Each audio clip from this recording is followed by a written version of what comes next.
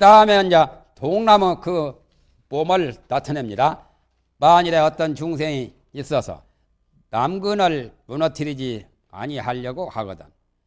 남근이라는 것은 자기 남자의 생식기지요. 남자의 그 동정을 무너뜨리지 않고 동정을 청정하게 잘 지키려고 하는 그런 마음을 투는 사람에게는 내가 저 앞에서는 동나무 몸을 나타내서 위하여 그를 위하여 설법해서 그로 하여금 남근을 무너뜨리지 않게 성축해 간단 말이죠. 정신대로 뽑혀가고 하는 것은 그건 여근을 무너뜨린 거고 또 남자도 반대로 그러한 자기 것이기를 어, 정조를 더럽히는 것이 남근을 무너뜨린 거죠. 그 다음에 이제 동녀 몸을 또 나, 타냅니다 만일에 어떤 처녀가 어, 처신하기를 좋아해서 처녀는 규중처녀라고 문 안에서 안방 안채에서 사니까 규중이라고 하지요. 거기에서 그대로 가만히 있는 것을 처녀라고 하지요. 요즘은 처녀가 밖으로 돌아다니니까 처녀가 아니라 어, 주녀라 주녀 다를 주자 여, 여자였자 처녀는 원래 옛날에는 잘 안 다니고 집에서 주로 이제 있었기 때문에 처녀라 하기도 하고 처신이라고도 하고 처신하기를 좋아해서 침폭을 구하지 않거든. 성폭행 당하지 않는 거요. 침폭이란 말, 말이. 남에게 침해당하고 그런 폭행이나 폭, 폭동, 폭도들에게 짓밟히지 않는 거죠. 그것을 구하지 않거든 내가 저 앞에 동녀 그러니까 동남과 동녀는 순수한 깨끗한 청정한 범행을 간직한 그러한 분들이요. 그런 몸을 나타내서 위하여 설법하여 그를 위하여서 설법해서 그러하여 성취케 한다. 만약에 탐심이 강한 사람도 관세음보살을 항상 공경하고 생각하면 탐심을 떠나고 음심이나 불로나 그런 것이 강한 사람도 관세모사를 항상 공경하고 생각하면 그런 것을 떠나게 한다고 나오죠. 탐진치 삼독 같은 거. 그러니까 관세음보살의 그 유력으로 이것을 능히 그렇게 이룰 수 있는 능력이 있죠. 옛날에는 그 입춘 글씨도 어, 동나무 글씨를 쓰잖아요. 어른들이 쓴 것보다 아직까지 이성을 밝히지 않고 순수한 동정을 어, 가지고 있는 그런 애들 보고 입춘을 써라고 해요. 입춘 글씨. 그래가지고 그걸 붙이면은 벽사도 되고 사기를 물리쳐가지고 어, 좋다는 거죠. 입춘 대길 건양다길이라고 이런 거. 이렇게 쓰는 게 여러 가지가 많이 있습니다. 이런 거. 이 거 다 동나무 글씨 가지고 동남이 없으면 동해라도. 예? 나도 그래서 어려서 어, 우리 할아버지가 저거 써라 해서 몇번 썼구만요. 어려서 한열살그 무렵에 그 그때마다 천진난만해서 아무것도 몰랐지 뭐.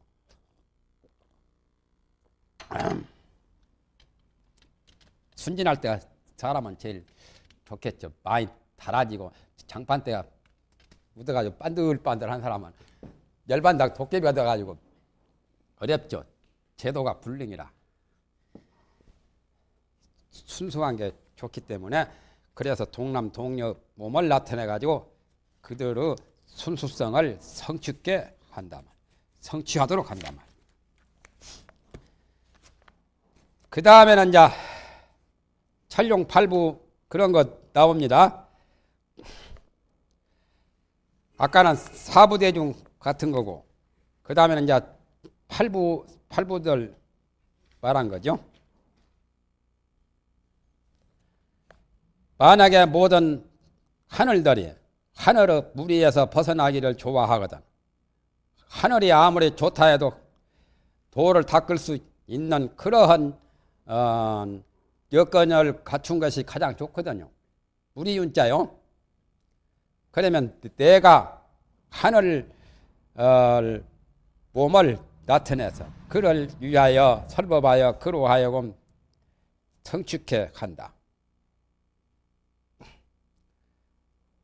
배휴 배휴라고 저 어, 온각경 서문을 규봉스님 온각경 해석 그 서문을 배휴가 썼는데 수라는 아수라는 정내기를 좋아하고 지옥은 최고로 고통스러워서 안 되고 또 축생은 너무나 우치해서 안 되고 축생들은 또 저런 저 저 날짐생 또는 짐생이나 새들이나 고기들이나 항상 자기 주위에 자기를 침해하는 힘이 강한 자들에게 먹힐까봐 늘 빠시락만 해도 이 생명에 대한 공포심이 많거든요.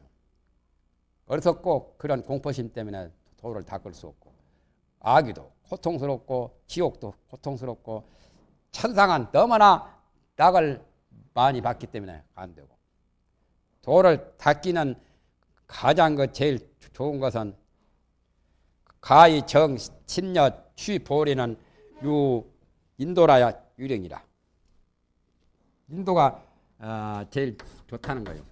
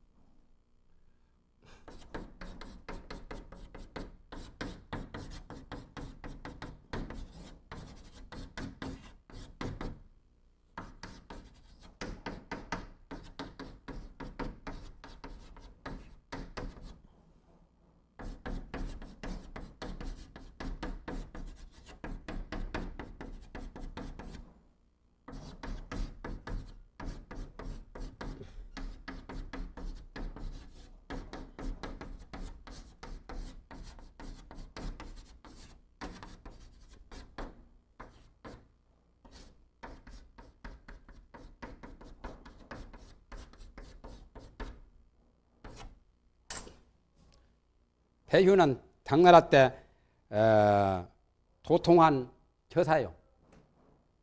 배휴는 삼생을 두고 중국에 태어나가지고 어, 배휴 삼생탑이라고 유명하죠. 삼생을 두고 탑을 쌓은 거. 처음에 소바리로 허현도 소바리로 태어났다가 허현도로 태어났다가 나, 중에 배휴로 태어났어요. 배휴가 정성까지 지냈죠. 황벽신님한테 깨달았죠. 배우가 어느 절에 가가지고 조사 영전에 가서 조사 영을 보고 조사의 그 사진들 보고서 조사의 진영은 조사의 이 어, 사진은 여기에 있지만 조사는 어디에 있습니까? 하고 그 절에 원주스님한테 물었거든. 그러니까 원주스님이 답변을 못해가지고 그 거기에 대한 어, 명쾌한 대답을 못했잖아요. 그러니까 배우가 그 이제 원주심한테 여기에 혹시 돌을 닦는 사람이 없느냐고 돌을 아는 사람이 없냐 하니까 원주심 가만히 생각하니까 얼마 전에 객성으로 왔던 스님이 선방에 공부를 많이 한 스님같이 보이거든. 그분이 황벽 스님이라. 그분에게 이제 소개를 해주니까 배우가 이제 황벽심한테 가서 이제 물었어요. 내가 저 조사전에 가가지고 조사의 사진을 보고 조사의 사진은 여기 있지만은 조사는 어디에 있냐고 물으니까 저 스님이 답변을 안 하고 스님한테 사양을 하는데 스님이 좀 답을 해 주시오. 그러니까 광벽신이 뭐 이렇쿵저렇쿵 설명을 할 필요가 없잖아요. 그래서 황벽신이 배공하고 불렀잖아요. 그러니까 예하고 대답하거든. 어디에 있냐고. 그 말 듣고 깨달아 버렸어요. 그거나 그거나 같잖아요. 조사 사진은 여기 있지만 진짜 조사는 어디 있냐고 하는 그 말이나 배휴하고 불러가지고 예하고 대답하니까 어디에 있냐고 그렇게 타고쳐 물었잖아요. 도래여 그 반문을 당한 거지요. 반문을 당했든지 말았든지 그렇게 해가지고 그게 계기가 되어서 깨쳤어요. 도를 깨쳤어요. 그래가지고 황벽스님을 굉장히 받들었죠. 그래서 선은 황벽스님께 깨우치고 교는 규봉선사를 만나가지고 규봉스님한테 깨쳤죠. 그래서 교회에 대해서도 아주 박식한 아주 참 군자라요. 박식 군자요. 글도 천하 문자이고 온각경 서문 규봉스님이 온각경 그 하는 서문에 저 말이 나옵니다. 그저 권발 보리신문이 유명해요. 배휴가 선거. 그리고 원인론 서문이나 법집 배량록 서문이나 또 하음 법계관 서문이나 서문은 다 규봉스님 그 규봉스님이 해놓은 책 가운데 서문은 전부 다 배휴가 다 썼어. 그러니까 배휴한테 양보를 했죠. 규봉스님이 글도 잘하고 불교도 잘 알고 정성까지 했잖아요. 패설을 정성. 그래가지고 자기가 이생 동안 못 마친 그 둘레가 40이나 되는 큰 목탑으로 이렇게 법당이 탑으로 이렇게 된 그것을 배휴 때 마쳤죠. 그래가지고 배휴 삼생 탑이라. 배휴가 삼생을 두고 탑을 쌓은 게 유명한 게 있어요. 이분은 그 저석 가운데 가장 여러 스님들이나 성속 간에 회자가 되는 그런 글이 있어요. 참잘 됐지요. 보리심을 바라는 것을 구원하는 글이요. 보리심 보사는 꼭 보셔야겠네. 이름도 보리심이니. 권발 보리심. 그러니까 아까 말했듯이 수라는 방진하고 수라는 썽을 잘 내고 조수는 회, 길률지비하고 새와 짐승들은 공포심, 공포심의 그 근심을 늘 안고 있고 빠시락만 해도 자기 죽일까봐 그런 공포심 때문에 안 되고 또 지옥은 최고로 괴롭고 아기도 고통스럽고 또 하늘 사람들은 너무나 받고 그러니 육도 중생 가운데 인도라야 가장 최고라는 거예요. 가 있어 마음 생각을 가다듬고 정돈하고 보리에 나아갈 수 있는 것은 오직 인도라야 능히 할 수 있단 말이에요. 나아갈 취자요. 보리는 깨달으면 도안요. 그러니까 사람이라야 가장 도 닦기가 좋다는 거예요. 그런데 인이 부리면 사람으로서 그 도를 닦는 것을 하지 않는다면 오말 여지하야 이기니라. 나란 것은 배우지요. 나, 나도 그 사람에게는 어찌 할 수 없다. 이 자는 없을 말자요. 끝 말자가 여지하는 어찌거든. 어찌. 이것은 어조사고. 발음을 이 그래요. 나도 어찌 할 수 없을 뿐이다. 뿐이 자로 잘 됐죠. 제일 끝맺음 온각경 끝맺음에 저 말이 나와요. 온각경 제일 첫머리에 배후가 뭐라고 되냐면은 두 철기지 속이 필 유지하니 피와 기운을 가진 우리들은 반드시 아는 게 있어. 그 영지짜리 그걸 경물 치지하는 지자 경물 치지하는 그 아는 것이 있으니 범 유지자는 필 독체니 무릇 아는 것이 있는 사람은 다 그 자체가 똑같아. 모든 중생이 그 아는 지적 영지짜리 본래의 마음짜리는 똑같다 이 말이에요. 그러니 그 마음짜리가 어떤 거냐? 소위 진정 명료하며 이른바 참되고 바르고 받고 묘하며 허철 영통하여 비고 사무치고 신령하고 통해서 소위 진정 명묘하며 허철 영통하여 타견이 독존자여라. 높아가지고 위대하게 가장 천상천하 유아독존이 타견이 독존자라. 벌써 처음 말도 거창하지요. 글을 지으려면 그렇게 지어야지 골타분하게 뭐, 뭐, 찐나라 까먹는 소리, 나비야, 뭐, 호랑이야, 이리 오르라, 뭐, 그런 식, 나비야, 너하고 같이 놀자, 파도가, 그런 식 글 같은 것은 글도 아니거든. 어린애들. 대략 보면 다 그런 식으로 글 짓거든. 글 짓는 사람들이. 벌써 그 말 한마디에 천지, 만물, 우주 근본을, 뿌리를 그냥 막 그대로 말끝마다 즉 말하면 억구마다 규절마다 그것이 그대로 다 드러나야 되지. 그렇게 지어야 진리를 제대로 아는 사람은 그리고 어, 제대로 잘한 거예요. 그래서 원원이 현재라.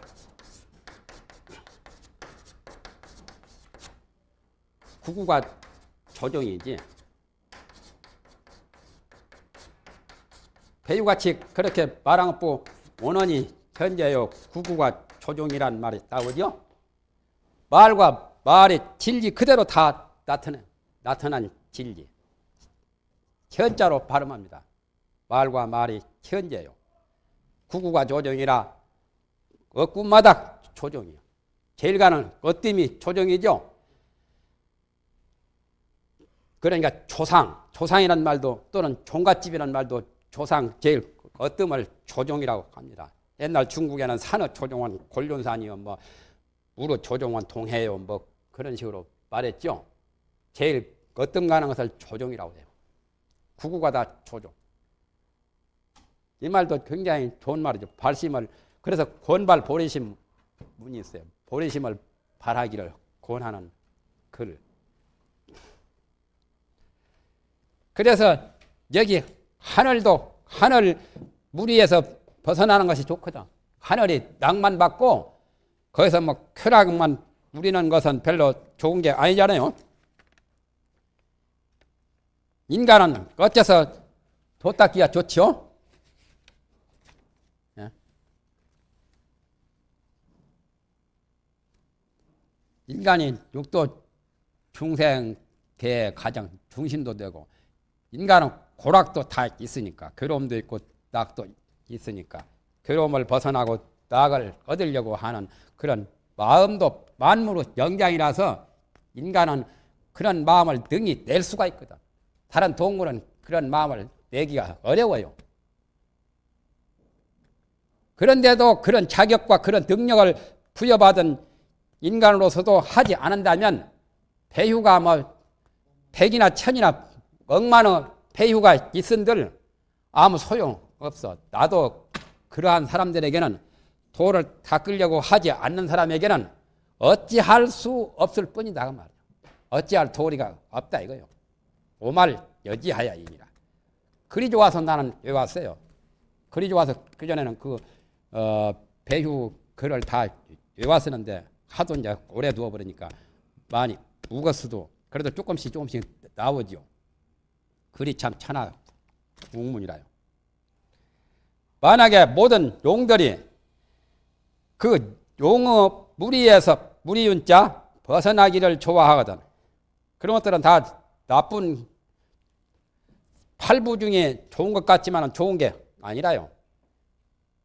그래서 내가 그분한테는 용우 몸을 나타내서 위하여 설법하여 그로 하여금 용륜에서 벗어나는 방법을 가르쳐 준단 말이죠.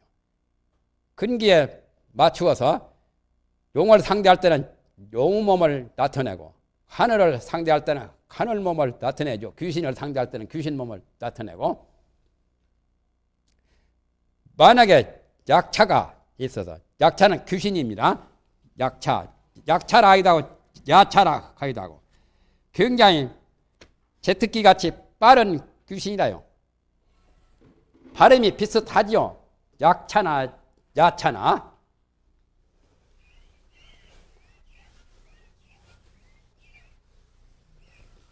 야차라도 갑니다. 그걸 야차라도 가고 여기서 말은 약차 나오다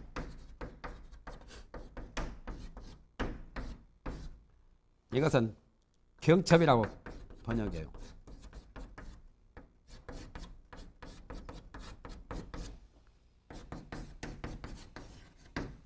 또, 는 촉질이라도 번역하고.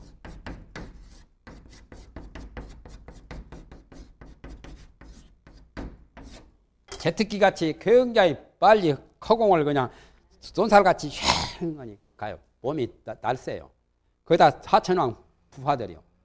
그것들이 다 나와서 아수라하고 싸우기도 가고 그것들하고 싸우다가 벼락 천둥 소리, 벼락 천둥이 친다고 그런 말까지도 나오죠.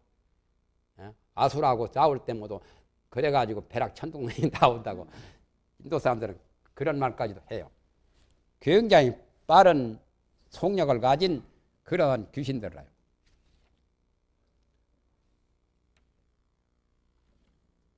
자기야화계 보살아니요 종려 엽산 야차두라 그런 글이 있죠.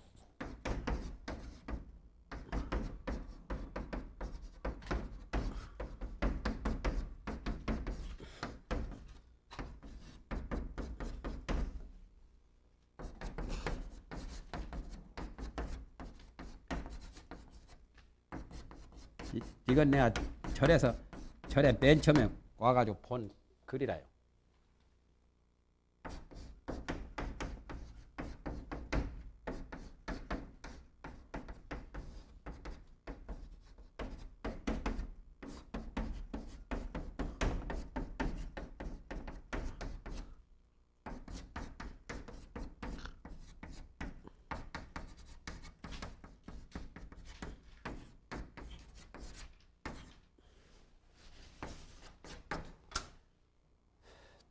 자약꽃은 좋지요. 목단꽃처럼 자약꽃이 피면은 아름답지 않아요? 해당화처럼 명사심리 해당화처럼 자약꽃이 좋죠. 자약꽃이 피면 보살 얼굴이고 보살 얼굴처럼 아름답고 우아하고 그저 박정희 대통령 부인 육여사 같죠? 육여사 자약꽃 같아요. 그 모습이 별로 뭐 잘생기거나 어디가 아름다운 것은 아니지만 상당히 우아하게 보이죠. 역대 영부인 가운데 제일 우아하게 보이죠. 자기약형이라 그 얼굴이 자기약 꽃이 피매 보사로 얼굴이고 종려 엽산 야차두라 종려 이파리가 막 뿔뿔이 흩어지면 야차의 머리더라. 종려나무 보셨습니까? 열대지방에 많이 있어요. 종려수라고.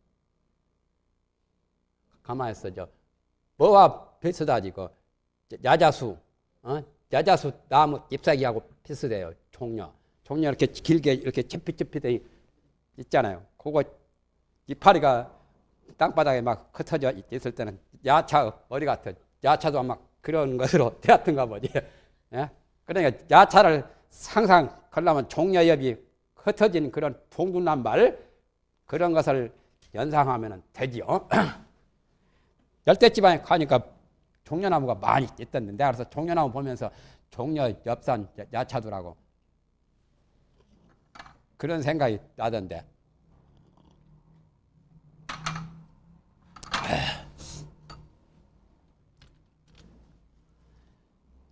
야차가 본륜에서 벗어나기를 좋아하던 본륜이라는 야차의 무리에서 벗어나 가지고 사람이 되든지 해탈을 하든지 벗어날 도자요 도탈.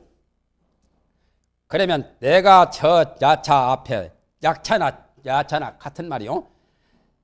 약차의 몸을 나타내서 그거를 위하여 설법하여. 그로 하여금 성축해 간단 말이에요. 그 다음에는 건달바지요.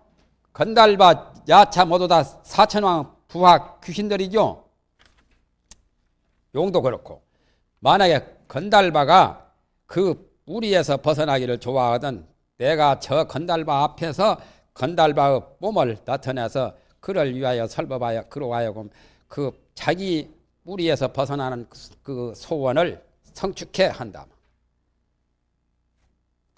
건달바라는 것은 행음이라 번영하여도 심향행이라도 하고 그래요.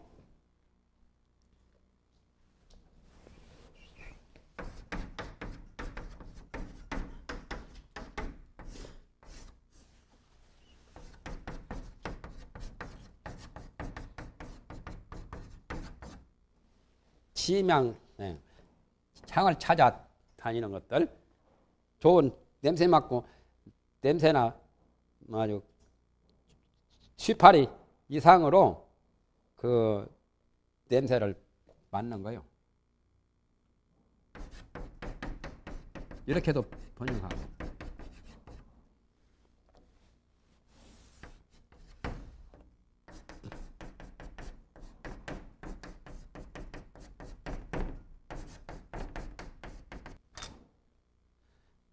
제석천왕 밑에 부화 악신이라요.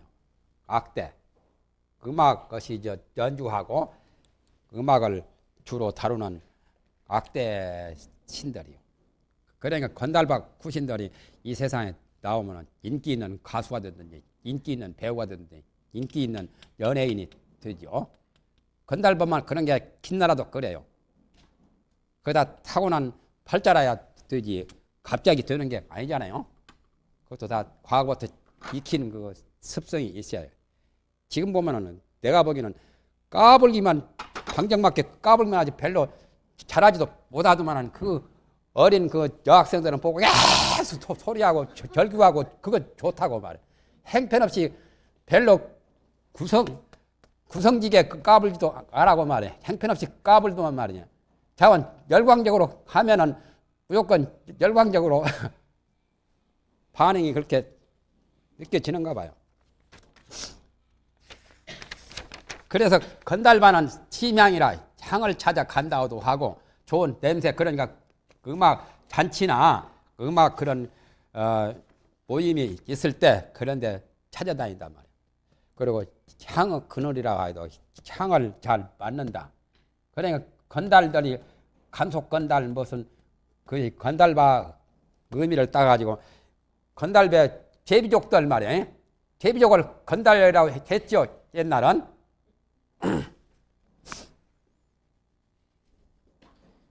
제비는 생기기는 잘생기는데 매콤하니 아주 빠르고 어?